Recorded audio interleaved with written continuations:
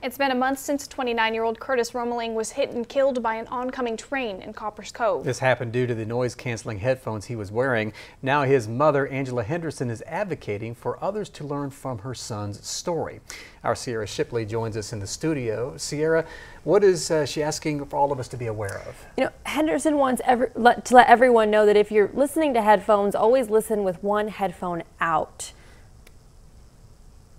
her son Curtis Romeling was on his way back from 7-Eleven and he often visit, visited that location but instead of driving he walked and took a shortcut through the train tracks wearing noise canceling headphones. He didn't hear the train approach him from behind and that's when he was hit. My favorite thing about him was just he was always loving and he had the best smile and I'm gonna miss him very much.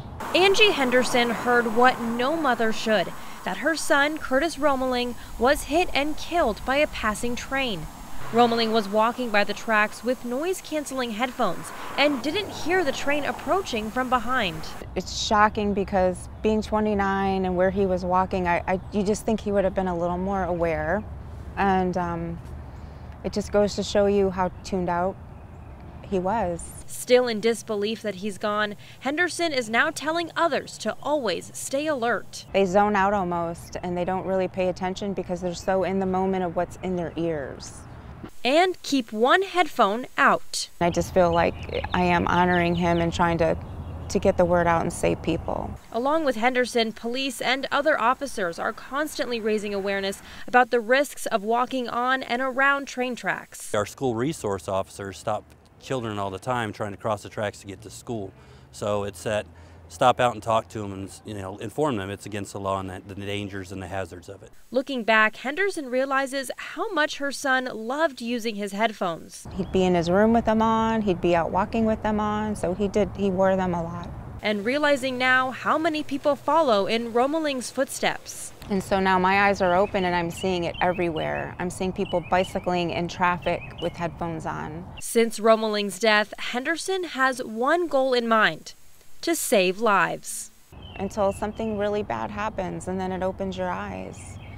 But if I can open their eyes before something bad happens, that's my goal. Along with listening to Henderson's story, here are a few tips to remember when around train tracks.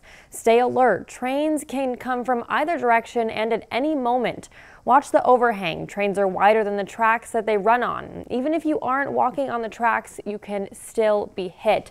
And of course, lastly, never walk on train tracks because here it is illegal. Sierra, thank you so much for tips to keep us all safe. Meanwhile, it's not just Henderson trying to spread the word. An organization called One Ear Out is advocating that same message. One Ear Out is asking people to tune into life as too many people are losing their lives because they weren't paying attention. The founder of One Ear Out, Mark Nitro, also lost his stepdaughter Amanda due to that same reason. He says he couldn't believe the number of people he has met who have suffered the same type of loss. According to One Ear Out, there have been 60 deaths from train accidents due to people wearing headphones. With the popularity of noise-canceling headphones, One Ear Out asks you use an alternative type partnering with AfterShokz. They're headphones that rest on your cheekbones, leaving your ears uncovered and canals unblocked.